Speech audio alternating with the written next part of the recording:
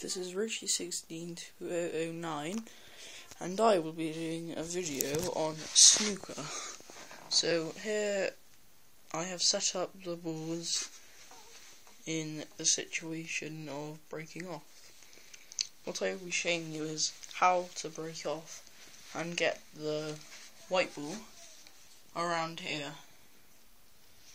So to do this you will have to try and hit the white ball just here.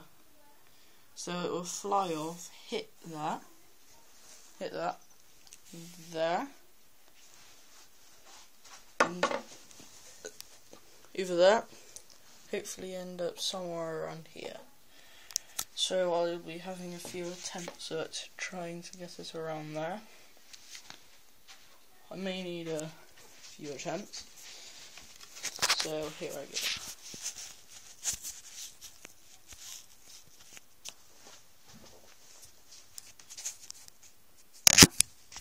Sorry about this. Trying to get the camera in the right position.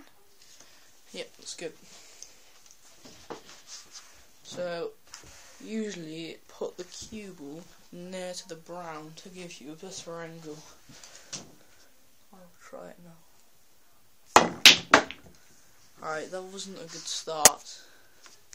I managed to pop the cue ball. But I will have another attempt.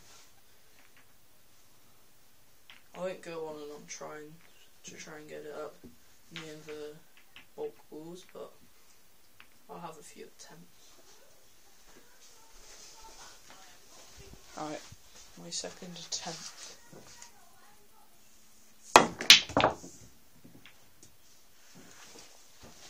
Alright, so that's quite a good break off. I managed to get it quite near to the bulk balls, but if it had been, if it's around here, that is one of the best positions ever because it blocks off getting any shots at red. So thanks for watching, bye.